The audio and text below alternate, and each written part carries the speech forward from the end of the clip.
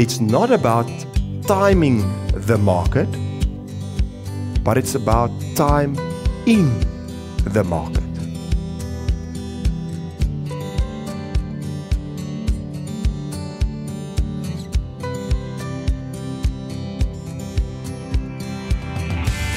Dit gaan nie oor die regte tyd om in jou geloof te belê nie of om tyd vir God in jou besige skedule te maak nie. Maar eerder om saam met God tyd te spandeer.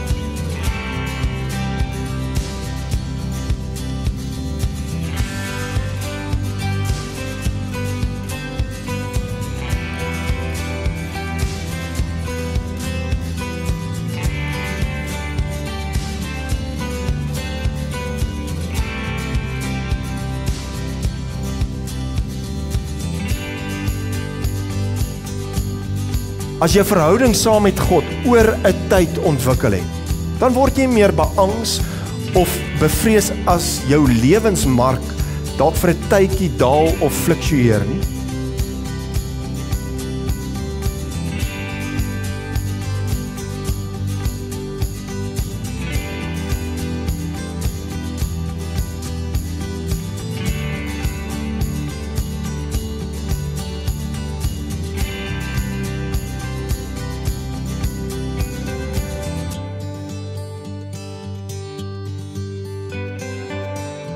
Mag jy die gewoonte ontwikkel om nie tyd vir God te maak nie, maar om tyd saam met God te spandeer.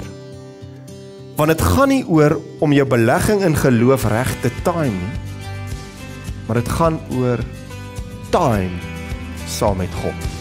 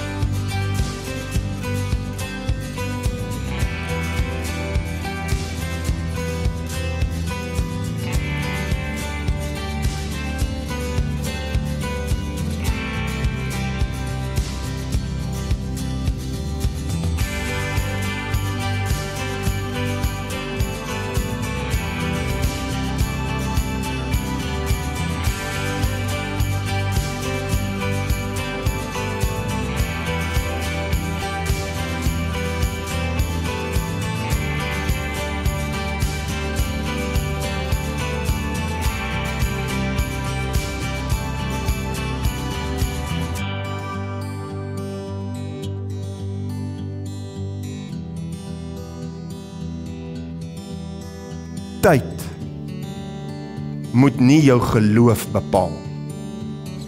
Maar geloof moet jou tyd bepaal.